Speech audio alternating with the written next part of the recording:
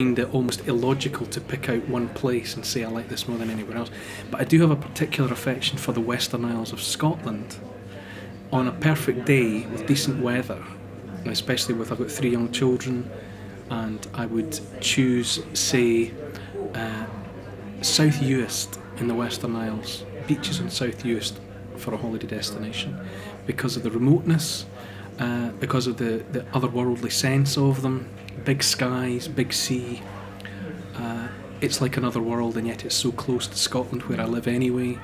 Uh, I just feel a strong connection in my bones.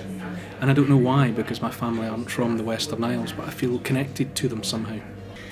My favourite holiday destination is North Devon, um, and I really like it because it's it's easy to get to. It only takes me a couple of hours from Bristol to get there, and so you can leave work on a Friday afternoon, and just as the sun's setting, you'll be pulling up to a campsite in North Devon, somewhere on a cliff, with the sun setting over the sea.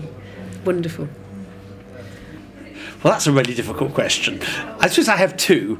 Um, one would be to take my boat. I have a nice old fashioned wooden boat, and to take it round the coast of Bristol Channel and round the south coast of England, um, stopping at all those lovely little fishing ports that you find.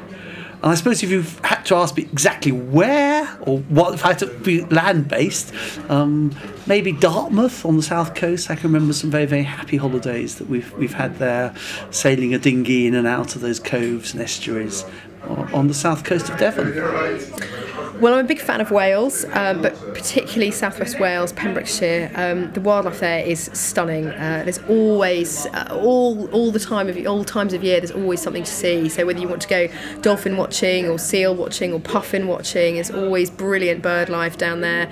Um, we've got a friends with a barn down uh, in a sort of the, the, the sort of bottom left-hand corner. It's about as far west and south as you can go, and we often just go there as a complete runaway retreat at a weekend, just to be really quiet and calm, um, and just uh, sort of experience the weather and and the beautiful coastal paths. The walks there are amazing. There are lots of beaches there um, to take the family on. Now I've got a young family, I have to start thinking about these things now to keep the children amused, um, and lots of nice pubs and it's just a really it's for me it's it's only a couple of hours drive from home uh, and on a Friday night and I can just be somewhere else I can wake up on a Saturday morning and you know just be in the middle of almost nowhere so I find it quite wild but it's not a million miles away from from sort of civilization so.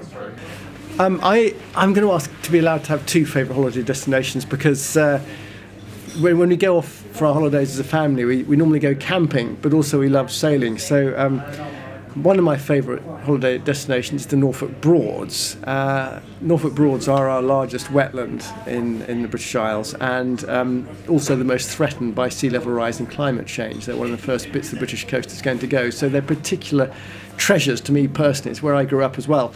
So um, to go to Norfolk Broads, where you can you can paddle a canoe or we sail our boat there, and uh, and you can see otters. Um, you can, if you're lucky, you'll hear a bittern booming right time of year. There'll be snowy owls hunting at dusk and uh, geese flying over at sunset. It's an absolutely magical place. Um, and Norfolk's famous for its enormous skies, and it's absolutely true. When you're on a boat on the water, whether it's a canoe or a little sailing dinghy, you find yourself between these two planes, if you like, a plane of reflective water and a, this great reflective sky above your head, and there you are suspended between the two on this water margin. And it's uh, a very, sounds a cliche, but it's a very otherworldly place to be. And I live in the middle of a huge city, London, so to go to Norfolk Broads is a very special. Uh, uh, place to escape to. Now, the other place I'd like to go on holiday, well, my other favourite holiday destination is, is the northwest coast of Scotland, and uh, where we go camping particularly up in the area known as Assynt in the far northwest, where you have the huge mountains like uh, Suilven, Canisp, and uh, Foinaven, uh. So go and climb some mountains, uh, maybe do a bit of canoeing on the coast, uh, live in the tents, and uh, watch the weather coming in out of the Atlantic. A uh, bit of fishing, maybe, a bit of mackerel fishing, hang a line over the end of the canoe, and have a kind of Robinson Crusoe style adventure.